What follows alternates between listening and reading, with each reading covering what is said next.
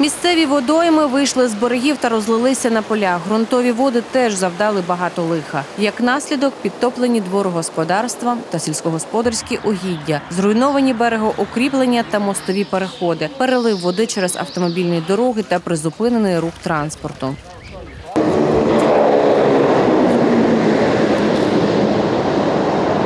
Найбільше постраждала Іршавщина. Тут майже дві сотні підтоплених дворів і 1585 гектарів сільськоугідь досі у воді. А у Вільхівці вранці четверга ще й призупинився рух по автошляху Мукачево-Рогатин. Цілий день на місці працювали рятувальники. Власне, за допомогою насосних станцій вони відкачували воду з дороги.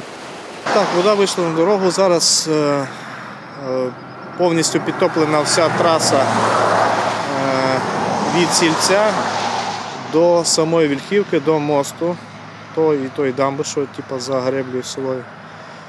Е, працює наша пожежна насосна станція. Автомобіль рукавний, наш особовий склад Хуськ, ДПРЧ 10 місто Хуст і особовий склад е, ДПРЧ Ішавського. Навіть без суттєвих опадів рівень води на околицях знижується повільно. Грунт перенасичений вологою. На Виноградівщині теж не краща ситуація. Тут 240 гектарів підтоплено. Великі ком'яти буквально плавають.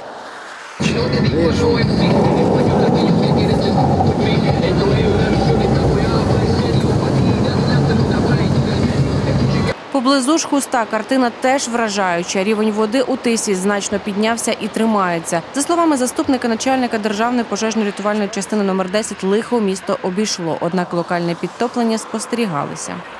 Ми всі бачили в інтернет-мережах. Це вулиця Івана Франка в районі вокзала, там було підтоплені господарства. Но то внаслідок того, що с- стічні, стічні каналізаційні системи не встигали приймати воду. Плюс, е, як зауважив вчора перший заступник е, міського голови е, Федько Іван Михайлович, всі знімають, коли стається біда. А не знімають, коли хтось бере накидає в ту ж саму стічну каналізацію сміття, яке потім не забиває її.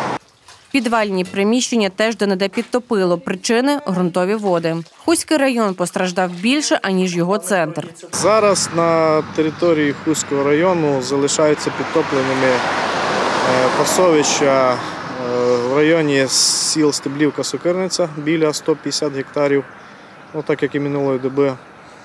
Е, В селі Данилово біля 20 гектарів. Плюс в селі Данилово було ще підтоплено вчора 4 дворогосподарства, щоб вода була в підвальних приміщеннях, підтоплені колодязі. Е, Зараз там внаслідок е, прориву дамби річки Гайлово вода стекла на поля. Городи, двори та підвали підтопило і у Данилові. Місцеві не стримували емоцій. Вода в нас дуже часто тут буває, бо доки е, тут е, з, з русла цього Тахарира, доки був совхоз кожного року, а тепер не чистяться. Потоками малося чистять. Шкоди, все шифер одвезло, садибу всю взяла, все, що насаджено. Картошку, помідори, парадички, все однесло. Купили ми три місяці тому кухню, но син її поклав на таке, підклав її мало, там ну, не було в воді. Ну, а тут теж так була вода, так. Так десь була вода. Ну, закотилися, на дно ми утягли, вона і се уці сме не годі.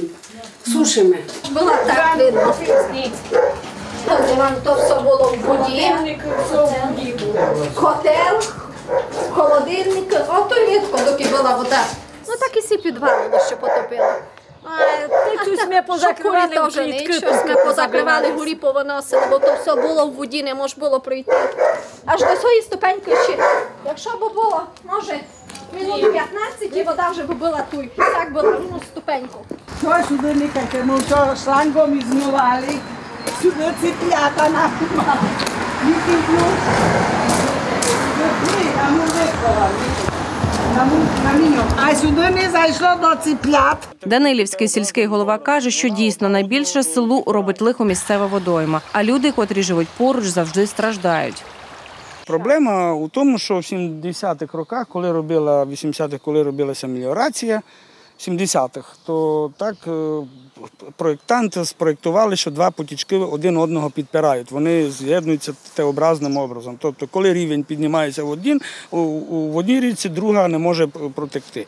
Там потрібно великі кошти укласти, щоб русло розширити. Якщо завтра, післязавтра буде дощ, проблема буде.